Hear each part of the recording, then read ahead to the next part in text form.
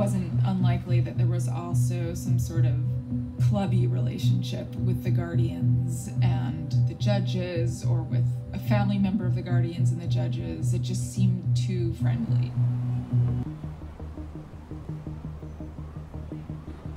Guardianship exploitation is the crime of the 21st century. A guardian has great power. They'd be able to sell a home right out from under people.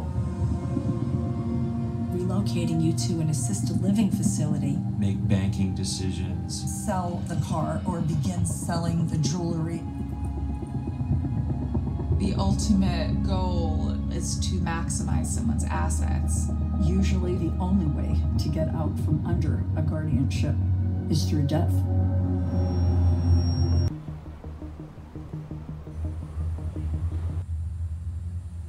It looks devastating, barren. They took this property away from me and they said it was all legal. They sold it for just over $3 million. And to this day, I never received any proceeds, not even $2. As it is now, I'm totally penniless. Totally penniless. And the judge said I'm not allowed any financial resources whatsoever. I'm a ward of the state.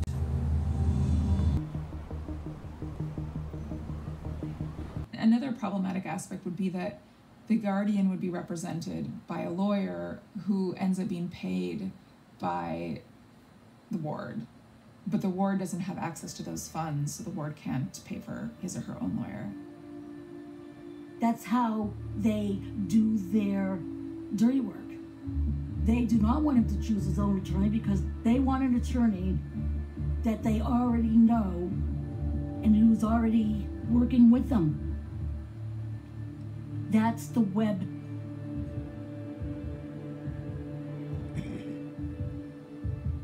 I think cronyism is like closely linked to a lot of the counties where there were long histories of dysfunctional guardianships.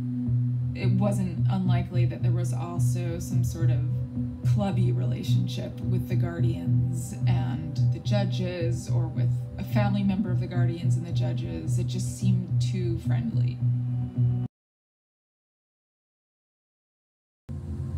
And the judge said I'm not allowed any financial resources whatsoever.